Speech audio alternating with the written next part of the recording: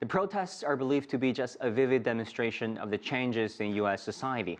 Todd Gitlin is a professor of journalism and sociology at Columbia University. He's also the author of Twilight of Common Dreams Why America is Racked by Culture Wars. Professor, great to have you with us. Hi. Is what's happening in Charlottesville, Virginia, a unique case confined to only certain areas of the country? Or do you think it is a reflection of a larger question at issue, a wider national trend?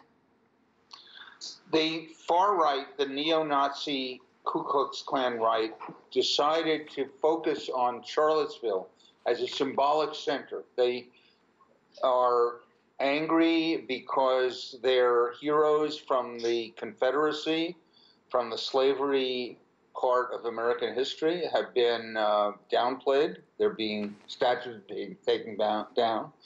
So they decided to congregate to, to center on um, Charlottesville, and they uh, they devoted a lot of energy to getting some hundred, several hundred people there, and they were met with uh, anti-fascist uh, objectors.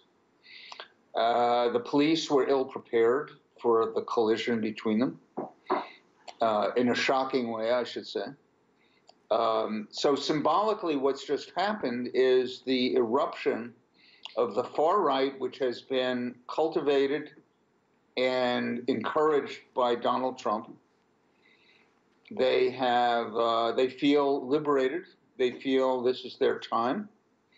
They feel that their white supremacist, white nationalist values are now uh, embattled and this is a great opportunity for them to fight out a symbolic protest. Now, I expect we will see more versions of this. They, they have already, these uh, white nationalists, so called, have already uh, declared they have a demonstration coming up next Saturday in Boston. Um, there are not a vast number of such people, but there are uh, many thousands of such people and they think that this is now the time when they can stand up with the sympathy of the President of the United States uh, and fight for what they regard to be the honor of the white race, which is being embattled uh-huh. by uh, dark skinned people. Well, Professor, um, talking about President Donald Trump, what do you think of his response to the issue?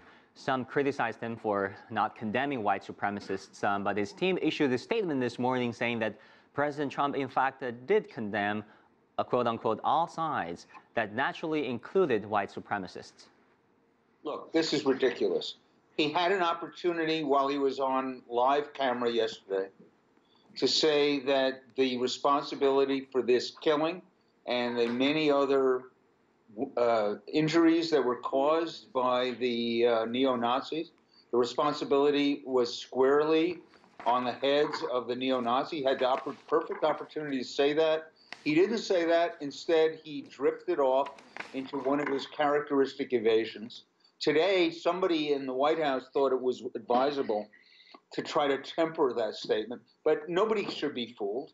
The real Donald Trump, the authentic Donald Trump, uh, is an, uh, encourages the uh, white supremacists, uh, thinks that uh, it, it is true that uh, the anti-fascists are just as culpable as the fascists. this is an extraordinary situation, and and I think we're we're getting mm-hmm. yet another revelation of the nihilism, mm-hmm. the vileness the uh, racial uh, animus of Donald Trump.